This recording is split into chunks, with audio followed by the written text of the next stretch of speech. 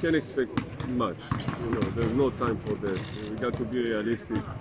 Um, I have great assistant, and uh, I will need uh, I will need that uh, uh, their help uh, also tomorrow.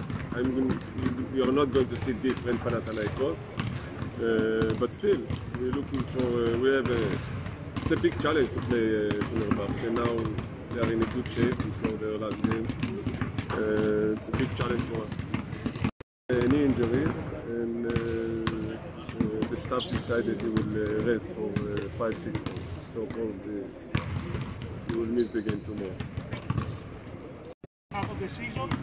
Uh, and what do you need to change in order to do that? we always, as a sportsman, we always want to, to, do, to do better.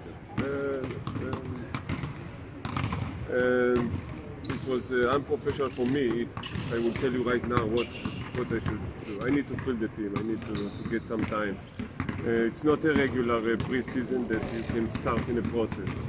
Um, we, we have tight schedule and we need to collect like half practices or uh, to start build. Uh, uh, so I wouldn't say something uh, new because I don't think the situation of the team is not broken. You know what I'm saying? Like, um, but it will take some time uh, to the players to understand my philosophy, me uh, adapt to the players and the quality, and if in two weeks, one month, we feel like we can we can help the team and we do some changes, we will do it.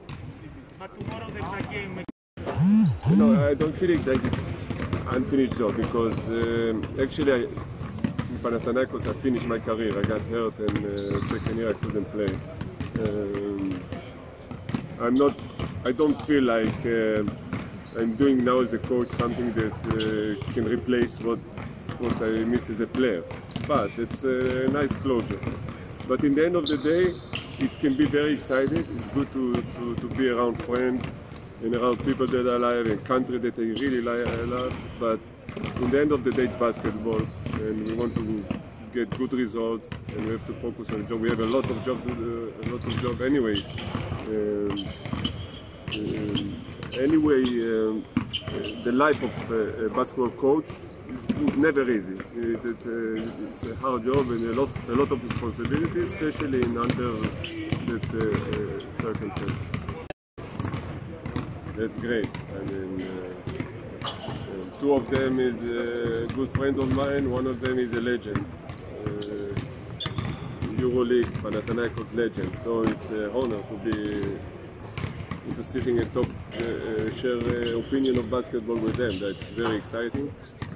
Um, that's part of it, you know. Frankie and uh, Yorgo, that's part of and the, and the connection that we got is part of why I'm so excited being here in Greece, especially in Greece. I'm happy. Did your relation, uh, your relationship with uh, these guys, Frankie and uh, George, uh, play a basic role in your decision to come here in Panathinaikos? Yeah, I'm sure it will help me. It will help. It helped me to take the decision. But I think uh, option, the opportunity to coach Panathinaikos is big enough. You know what I'm saying? Without taking from them anything. You know, it's only that. That's the extra. That's the special thing. That's the. Um, but uh, for sure, it, it helped me to, to do that step, which is great anyway. Because of what you say, I, I, we start today with defense. but uh, you know, it,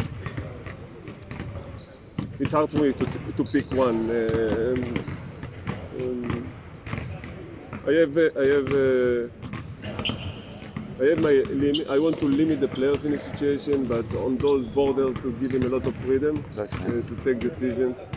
Um, it's tough for me to say on uh, one more, but uh, you see, we talk about it in the future. First thought, I, I'm I'm really excited to be here. Uh, whoever knows me knows how big was the experience and how um, how how I feel about Greece, Athens, Panathinaikos. It's like my second home, really. I uh, all those years uh, I always make sure that uh, two, three, four times a year I'm I'm here in Greece. I feel I feel ready for the challenge. I feel very excited. Uh, I feel honored to be the coach of a great uh, club like Panathinaikos.